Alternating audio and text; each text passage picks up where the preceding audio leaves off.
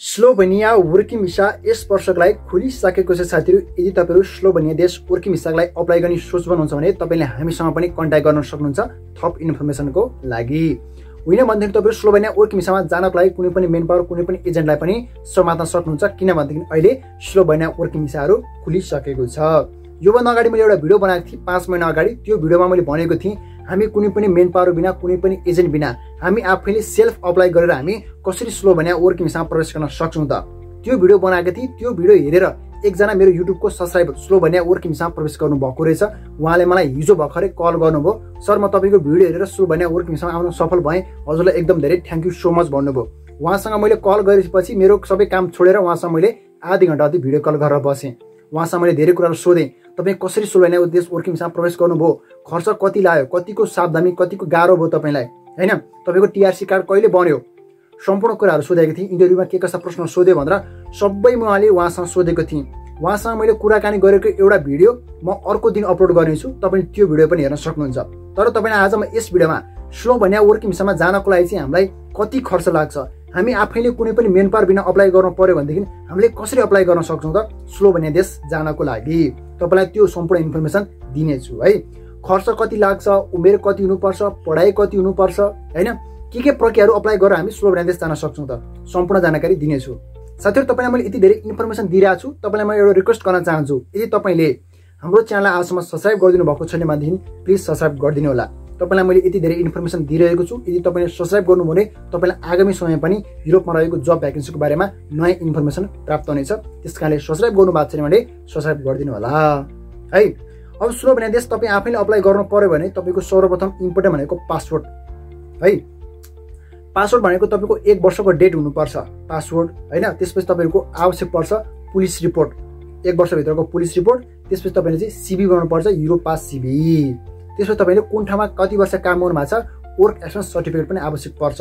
त्यो भनेको जस्तो कि मसँग ड्राइभर हुन्छ भने ड्राइभरको लाइसेन्स देखाए भइहाल्यो अथवा तपाईँले कुन ठाउँमा काम गर्नु भएको छ भने त्यो झनै राम्रो तपाईँ होटेलको काम गर्नुहुन्छ तपाईँ कुकमेन हुनुहुन्छ भने कुकमेनको डकुमेन्ट देखाउने। अथवा तपाईँलाई कम्पनीले तपाईँलाई लेटर दिन्छ भने त्यो झनै राम्रो अथवा तपाईँले चाहिँ साउदी कतार खाडी मुलुकमा काम गर्नु भएको छ भनेदेखि त्यो डकुमेन्ट देखाउन सक्नुहुन्छ कि? तर एक वर्क एक्सपिरियन्स चाहिँ हुन पर्यो। चाहे तपाईँ फ्याक्ट्रीमा होस् चाहे प्याकिङमा अप्लाई गर्नुहोस् है त्यो अप्लाई चाहिँ डकुमेन्ट चाहिँ आवश्यक पर्छ।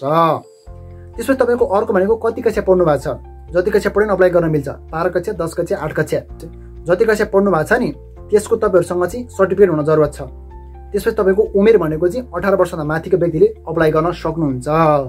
बुझ्नुभयो कागजपत्र के के चाहिन्छ? तपाईँले पुलिस रिपोर्ट पासपोर्ट अनि आफ्नो क्यारिफिकेसन सर्टिफिकेट तिनवटा कुरालाई तपाईँले चाहिँ नेपालमा रहेको पराष्ट्रमा गएर छाप लगाउनु पर्छ छाप लगाइसकेपछि तपाईँले अब त्यो डकुमेन्ट बोकेर तपाईँहरू चाहिँ इन्डिया जानुपर्छ। इन्डियामा रहेको नेपाल र इन्डियाको एमबिसीमा जानुपर्छ न्यु दिल्लीमा। कुरो बुझ्नुभयो? नेपाल र इन्डियाको एमबिसीमा जानुपर्छ न्यु दिल्लीमा।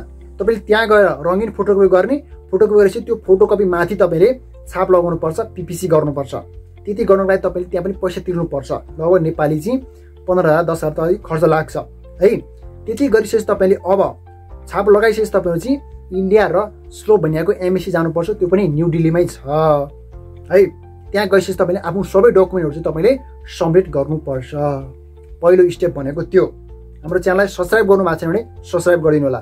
मैले यति धेरै सब्सक्राइब सब्सक्राइब चाहिँ किन भनिरहेको छु भनेदेखि कतिपय व्यक्तिले सब्सक्राइब गर्नु भएको छैन कि? उहाँहरू एकदम मेरो च्यानलमा नयाँ हुनुहुन्छ। तपाईँले सब्सक्राइब गर्नु भने तपाईँलाई चाहिँ आगामी समयमा यस्तो इन्फर्मेसन प्राप्त हुन्छ। जति पनि व्यक्तिले सब्सक्राइब गर्नुभयो उहाँलाई एकदम थ्याङ्क यू सो मच भन्न चाहन्छु। है? त्यसपछि तपाईँहरू स्लो भनेको एमबिसीमा आफ्नो डकुमेन्ट बुझाइसकेपछि तपाईँहरू चाहिँ नेपाल फर्किनुपर्छ। नेपाल फर्केको तपाईँहरूको चाहिँ दुईदेखिबाट एक महिनाभित्रमा ओर पोइन्ट आउँछ। एकदम चाँडो ओर पोइन्ट आउँछ है स्लोभेनियाको चाहिँ। ओर पोइन्ट आउँछ। त्यो ओर पोइन्ट चाहिँ कसरी आउँछ भनेदेखि स्लोभेनियाको एमबिसीमा तपाईँले डकुमेन्टहरू सब्मिट गर्नु भएको छ नि त्यो डकुमेन्टहरू चाहिँ स्लोभेनिया देशमा जान्छ। स्लोभेनिया देशमा गइसकेपछि कुनै पनि एजेन्ट कुनै पनि मेन पावरहरू कम्पनीले तपाईँको डकुमेन्ट चित्त बुझायो भनेदेखि तपाईँलाई ओर पोइन्ट पठाउँछ। है? ओर पोइन्ट पठाइसकेपछि तपाईँलाई चाहिँ मेल आउँछ आफ्नो मोबाइलमा। तपाईँको ओर पोइन्ट आयो तपाईँ चाहिँ अब इन्टरभ्यूको लागि चाहिँ आउन सक्नुहुन्छ भन्छ। त्यस तपाईँहरू चाहिँ इन्टरभ्यू दिन जानुपर्छ स्लोभेनियाको एमएससी इन्डियामा इन्टरभ्यू दिन जाने बेला तपाईँले इन्टरभ्यू दिने अनि इन्टरभ्यू दिएर तपाईँहरू फर्किने बेला तपाईँले चाहिँ फिङ्गर प्रिन्टको लागि पनि फेरि डेट बुकिङ गर्नुपर्छ। है? फिङ्गर प्रिन्टको लागि डेट बुकिङ गरेर तपाईँहरू फेरि नेपाल फर्किने। तपाईँलाई फिङ्गर प्रिन्टको लागि चाहिँ कहिले बोलाउँछ त्यो बेला तपाईँहरू चाहिँ अब नेपालबाट फेरि तपाईँहरू फिङ्गर प्रिन्टको लागि इन्डिया जानुपर्छ। है इन्डिया गइसकेपछि तपाईँले फेरि पनि अब फिङ्गर प्रिन्ट गर्नुपर्छ। फिङ्गर प्रिन्ट गरिसकेपछि तपाईँहरूको चाहिँ अनि तपाईँले फिङ्गर प्रिन्ट गरेर नेपाल फर्किने बेला तपाईँले चाहिँ टिआरसी कार्डलाई अप्लाई गर्नुपर्छ। टिआरसी कार्डलाई चाहिँ अप्लाई गरिसकेपछि तपाईँहरू नेपाल फर्किनुपर्छ टिआरसी कार्ड तपाईँहरूको बन्नको लागि लगभग दुईदेखि तिन महिना लाग्न सक्छ। कसैको पाँच महिना लागेको छ कसैको छ महिना पनि लागेको छ। तपाईँहरू टिआरसी कार्ड बनिसकेपछि तपाईँहरू चाहिँ एक्काइस दिनभित्रमा तपाईँहरू चाहिँ स्लो भन्ने देश वर्किङ भिसामा प्रवेश गरिसक्नु पर्नेछ। बुझ्नुभयो? हाम्रो च्यानललाई सब्सक्राइब गरेको छैन सब्सक्राइब गरिदिनु। स्टेप बाई स्टेप म फेरि भन्छु। सुरुमा तपाईँहरू नेपालको प्रष्टमा छाप लगाउने त्यसपछि इन्डियाको एमएसीमा गएर तपाईँले छाप लगाउने त्यसपछि इन्डिया र स्लोभेनियाको एमएसीमा गएर डकुमेन्ट सब्मिट गर्ने त्यसपछि तपाईँहरू नेपाल फर्किने त्यसपछि तपाईँहरू चाहिँ इन्टरभ्यू दिने त्यसपछि तपाईँले फिङ्गर प्रिन्टको लागि अप्लाई गर्ने फिङ्गर प्रिन्ट गर्ने त्यसपछि तपाईँहरू चाहिँ टिआरसी कार्डको लागि अप्लाई गर्ने टिआरसी कार्ड बोक्ने नेपालमा श्रम गर्ने त्यसपछि तपाईँहरू चाहिँ स्लोभेनिया वर्किङ भिसामा उड्ने। बुझ्नुभयो सबै क्लियर? क्लियर भयो नि होइन? अब तपाईँले स्लोभेनिया देश प्रवेश गरिसकेपछि तपाईँले कमाउने भनेको बाह्र सय युरो कमाउन सक्नुहुन्छ। तर तपाईँले चाहिँ ट्याक्स तिर्नुपर्छ स्लोभेनिया देशमा। ट्याक्स तिरेर तपाईँले इन्कम गर्न सक्यो भनेको नौ सय युरो हो। नौ सय युरो तिरिसकेपछि तपाईँले चाहिँ लगभग नेपाली एक लाख जति कमाउन सक्नुहुन्छ। है? तपाईँलाई खाना बस्न कुनै बेला कम्पनीले दिन्छ होइन भने तपाईँ आफैले पनि खाना बस्ने व्यवस्था गर्नुपर्छ। तपाईँको टिआरसी कार्ड भनेको तपाईँले एक एक वर्षमा रिन्यू गर्नुपर्छ। है? टिआरसी कार्ड रिन्यू गर्नु भएन तपाईँ चाहिँ नेपाल पनि फर्काइदिन सक्छ तपाईँले चाहिँ काम गर्न पनि पाउनुहुन्न। टिआरसी कार्ड पनि रिन्यू गर्नुपर्छ त्यसको लागि तपाईँले पैसा तिर्नुपर्छ। तपाईँ आफैले अप्लाई गर्नु भने तपाईँको खर्च भनेको कति लाग्छ थाहा छ? तपाईँले नेपालमा श्रम गर्न खर्च लाग्छ तपाईँले इन्डिया जान खर्च लाग्छ। इन्डियामा गएर तपाईँले छाप लगाउन खर्च लाग्छ तपाईँ चाहिँ फेरि इन्डियाबाट तपाईँले चाहिँ स्लो भनेको एमएसीमा जान खर्च लाग्छ। त्यो एमएसीमा तपाईँ डकुमेन्ट सब्मिट गर्नको लागि पनि खर्च लाग्छ तपाईँले इन्टरभ्यू दिनको लागि खर्च लाग्छ। तपाईँले चाहिँ फिङ्गर प्रिन्ट गर्नको लागि खर्च लाग्छ तपाईँले चाहिँ अब टिआरसी कार्डको बनाउनको लागि पनि खर्च लाग्छ। तपाईँले इन्सुरेन्स गर्नुपर्छ तपाईँले त्यहाँ चाहिँ आफ्नो श्रम पनि गर्नुपर्छ।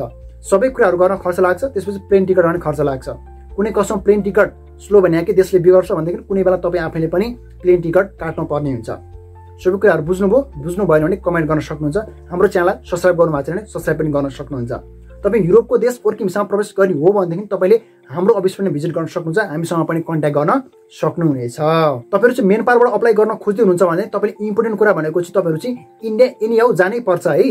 कुनै पनि मेन पावरले तपाईँहरू इन्डिया नगइकन तपाईँले हामी आफैले सबै काम गरिदिन्छौँ भन्दैछ भने त्यो एकदम फेक हो। इन्डिया भनेको तपाईँहरू तिनचोटि जानुपर्छ। पहिलो भनेको छाप लगाउन जानुपर्छ। दोस्रो भनेको तपाईँहरू चाहिँ इन्टरभ्यू दिन जानुपर्छ। तेस्रो भनेको कार्ड लिन जानुपर्छ। तपाईँ कसैले साथीलाई पठाएर नै हुँदैन। तपाईँ आफै जानुपर्छ के? तिनवटा कुरामा चाहिँ तपाईँ चाहिँ मेन पावरदेखि पनि सचेत हुनु होला अनि खर्च कति लिन्छ भनेदेखि मेन मेन पावरले दस पन्ध्र लाख खर्च लिइरहेछ। तपाईँ आफैले अप्लाई गर्नु भने कम्तीमा पनि छ लाखभित्रमा तपाईँहरू स्लो देश वर्किङ भिसामा प्रवेश गर्न सक्नुहुन्छ। मैले झुटो बोलाएँ होइन। तपाईँ अर्को भिडियो नै हेर्न सक्नुहुन्छ। त्यो भिडियो नै म पोस्ट गर्छु। है? के कति बुझ्नुभयो के कति बुझ्नु भएन कन्ट्याक्ट गर्न सक्नुहुन्छ हामीसँग पनि।